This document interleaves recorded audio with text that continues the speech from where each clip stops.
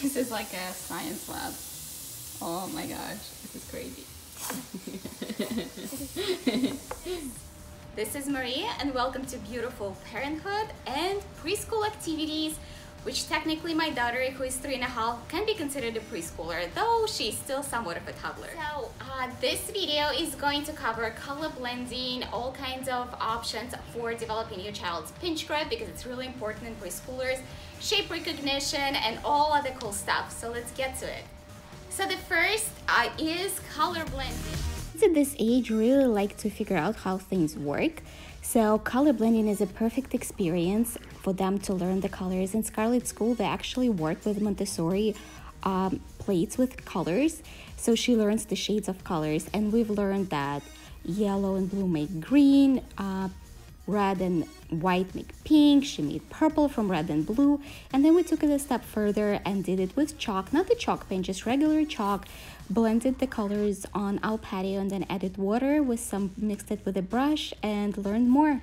Uh, what's cool about the kids over three because you can start incorporating them in games and I've showed you some other games in my other videos but this is a matching game from Eric Carle So for younger kids, what you can do is select about 10 pairs of cards and let them match it with you. You just mix it up in random uh, order so they can scan and visually pick it. And for older children, it's a memory game when you flip the card and you find the matches. So this activity focuses on developing the pinch grip of, of your child, which a lot of my science experiments that I will be talking later actually also include this pinch grip because at the age of three, by about three and a half, your child should be able to hold the pencil as they would when they're writing. So you do want um, let them handle small objects as much as they can to develop the specific pinch grip.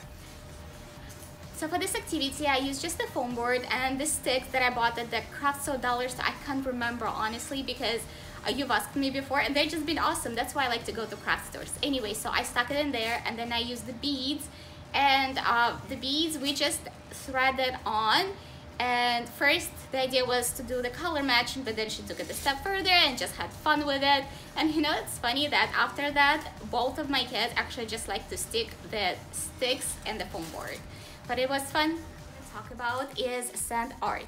Originally we did sand art bottles and then we also did sand art when you actually have like this sticky paper and you put the sand on.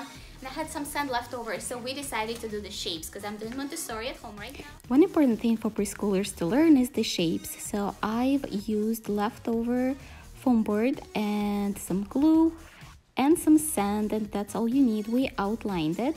The reason I decided to do the shapes is because I'm getting ready to show you some of my Montessori math from primaries and we use a lot of the sandpaper materials. So instead of buying something, I decided to create those for, with Scarlett and she was really proud of her work and you know it uh, served as the purpose because I will be using it in my future activities that I will share with you.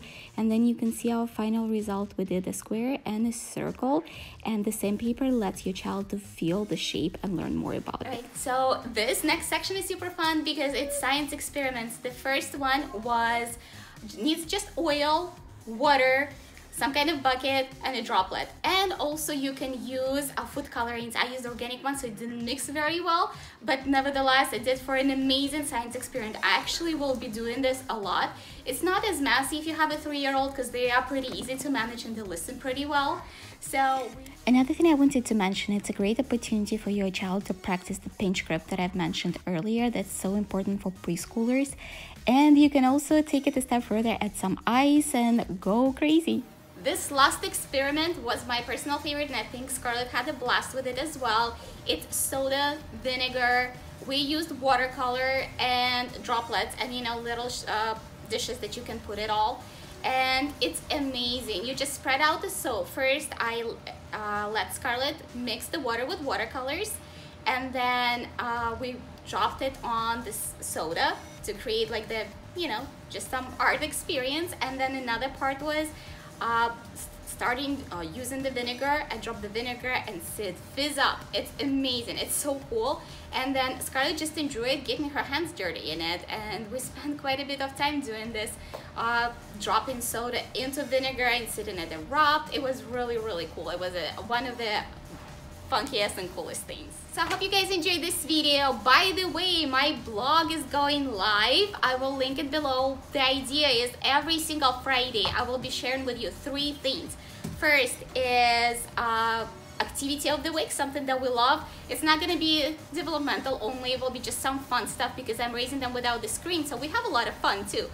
Then another part is um, some treat of the week, something healthy, organic, alternative to regular stuff, and mom life hack. So make sure to subscribe to this blog, check it out. Every Friday I will be posting those, my top three things for the week. And the next video coming Tuesday will be Montessori math from primaries. I've been getting ready for that one, took me some time. So I hope you guys to see you soon. Make sure to subscribe if you love what you see and I will see you soon.